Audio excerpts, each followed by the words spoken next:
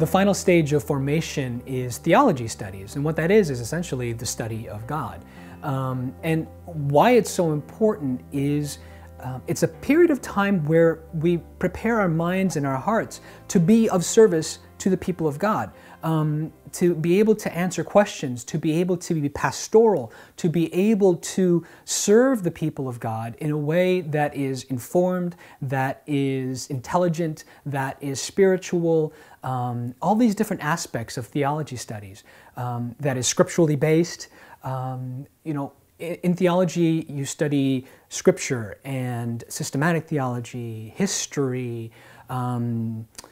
uh, sacraments, uh, liturgy, all these different aspects of what it means to be uh, a minister of the gospel uh, in a 21st century context. So uh, there are two places in the United States where we can study theology as a Jesuit anyway, and that is at the Boston College and also here at the Jesuit School of Theology, where, where I'm studying in Berkeley. Um, so it's a really an important time to a time of preparation um, where after we graduate from here, the assumption is that you will be prepared to minister to the people of God in a way that is sound, that is